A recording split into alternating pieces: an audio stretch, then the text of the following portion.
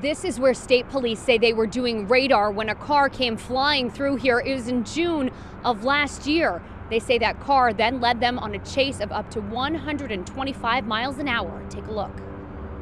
He's running, but you don't know why he's running. With police lights flashing almost all around it, troopers say the car still wouldn't stop. State police say this video posted on YouTube from a group called Police Activity shows part of the chase. Yes, we can get into pursuits, but our first priority is safety of others. At one point, you see the car nearly hit a trooper who was trying to put down spikes to stop it. The car then hits another car and crashes.